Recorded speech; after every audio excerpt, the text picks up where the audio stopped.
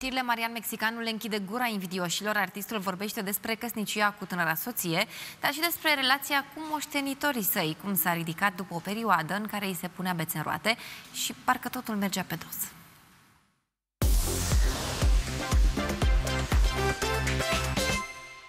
Viața muzicală ne-a Da.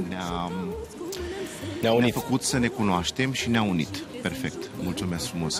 Uh, Nu ne-am fi cunoscut dacă nu eram uh, ambii muzicanți și nu împărțeam uh, aceeași, Aceeași scenă, pasiune, da. aceeași pasiune și aceeași scenă, că ne-am întâlnit și pe aceeași scenă.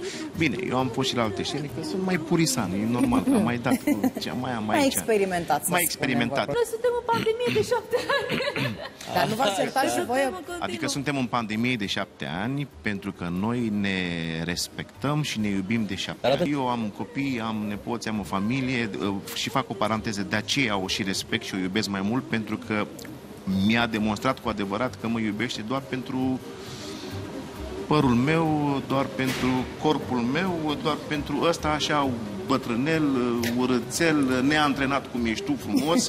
Deci mi-a demonstrat că este lângă mine cu bune și cu rele. Ați avut tendința să renunțați? Nu. V-a lăsat copleșiți de tot ceea ce se scria, Nu. ce se spunea despre voi? Scumpa mea, nimeni dintre noi nu a făcut rău nimănui.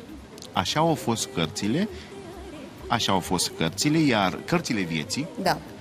pentru că dacă stau să mă gândesc, viața este ca un joc de cărți. Unii pierd, alții câștigă. Corect.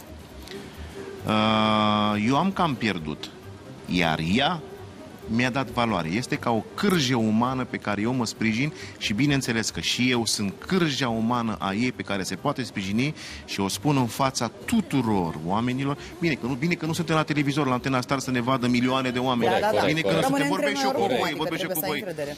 Pentru că la noi chiar totul se bazează pe, pe iubire și pe respect.